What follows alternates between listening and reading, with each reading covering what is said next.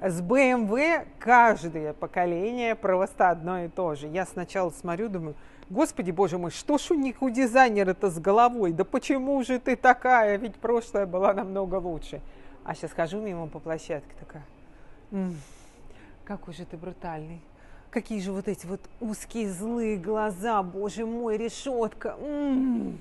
Может, М-пакет играет роль, не знаю. Короче, вот вам X7 в М-пакете с пневмоподвеской.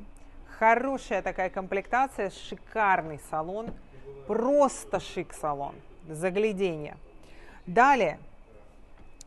А, понятно, что эти автомобили, они не бывают плохо оснащенными, но этот оснащенный прям хорошо. Очень удобные, одни из самых удобных сидений сейчас это сиденье BMW. Мне еще нравились Volvo, но Volvo у нас уж совсем почила на нашем рынке. Все на русском языке, это дилерская машина. Здесь э, хрустальные органы управления. Отдай-ка мне ключ, Владимир. То есть вот это хрусталики, это все опция. Видите, здесь э, изначально не экономили при заказе этого автомобиля. Бензиновая машина, слышите? Тихонечко так заурчала. Так, открываем. Что у нас с вами здесь есть? Заходим в климат. У нас здесь обогрев руля, обогрев и вентиляция сидений, обогрев сидений задних. Ну, задние сиденья это вообще отдельная история. А, кстати, вот я так а, сразу сказала обогрев задних сидений, а есть ли он? Что-то я не помню. Вряд ли здесь возможна такая история, чтобы заднего климата у нас не было. Сейчас будем разбираться. В описании к видео все обязательно дадим. Адаптивный круиз-контроль здесь есть, то есть все электронные помощники, к которыми, к которым вы привыкли. Память сидений, конечно же, есть. Вот здесь управление э, сидениями заднего ряда.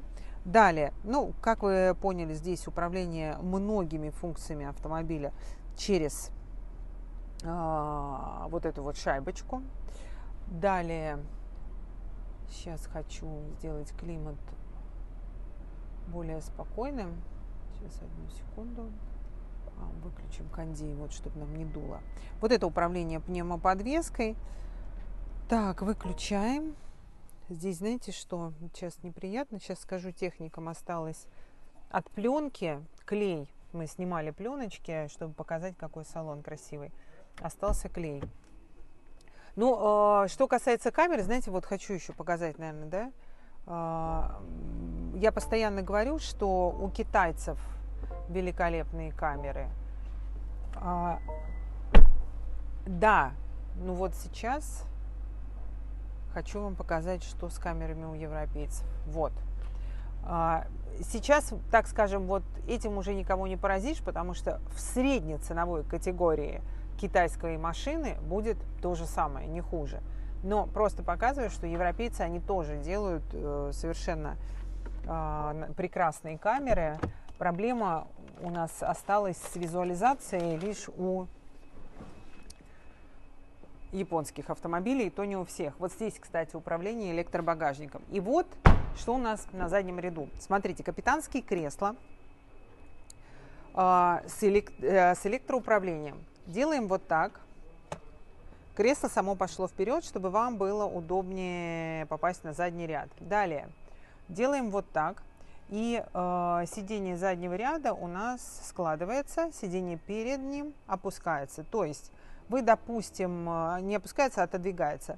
Вы, допустим, хотите э, залезть на задний ряд, у вас здесь был багажник большой, без третьего ряда, вы дернули, как я сделала, и дальше себе вот так вот открыли сиденье э, третьего ряда. Ой, в обратную сторону я его закрыла. Или я его открыла, или я его закрыла. А, вот. Вот, то есть она вся на электронике, она вся напичкана, она очень красивая.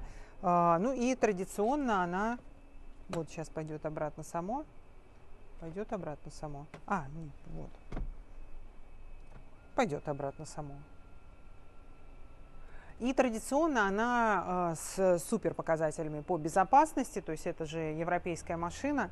Здесь э, все тесты Евро NCEP, они на безусловные пятерки.